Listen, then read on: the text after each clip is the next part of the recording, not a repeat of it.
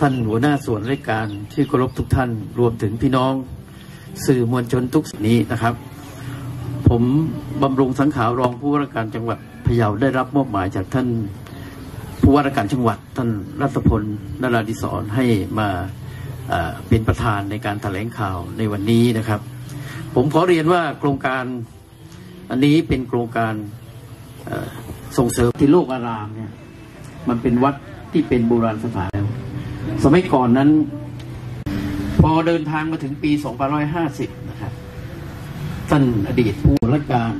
หน่วยงานต่างๆ พุทธศาสนิกชน เมื่อกู้วัดทิโลกอารามพ่อศิลา จากวัดศรีกรมคำเนี่ยไปประดิษฐานหนึ่งเดียวในโลกที่ไม่เหมือนกับจังหวัดอื่นๆนะครับ ขอเรียกว่าการเวียนเทียนกลางน้ำคืออะไร ก็คือการที่เราปฏิบัติตามประเพณีวัฒนธรรมของการเวียนเทียน แต่ที่จังหวัดพะเยานั้น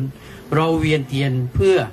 ออนั่งเรืองานวัฒนธรรมจังหวัดพะเยาปีนี้ ในเรื่องงานเวียนเทียนทางน้ำกลางกวนพะเยาได้ภาคีเครือข่ายก็คือสำนักงานพัฒนาชุมชนจังหวัดสำนักงานพระพุทธที่ท่าเรือ โดยมีขบวนแห่มีมีนางรำแล้วก็มีหัวหน้าส่วนราชการ แล้วก็นักท่องเที่ยวที่ร่วมขบวนด้าน กิจกิจกรรมตลาดนัดผลิตภัณฑ์ชุมชนและภูมิปัญญานะคะ และเราใช้ชื่อทีมงานว่า ชมชิมช็อป สุดยอดโอท็อปจังหวัดพะเยาค่ะ ทางน้ำและทางบกนะคะในน้ำเราก็จะมีเรือป้องกันบรรเทาสาธารณภัยของเทศบาลเมืองเยาคอยบริการให้ความปลอดภัยทุกอย่างนะคะอาการปีใหม่เมืองของเราไปเรียบร้อยฉะนั้นในโอกาสนี้ก็เรื่อง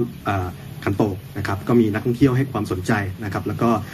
มาร่วมกิจกรรมกันจนเป็นจำนวนมากนะครับ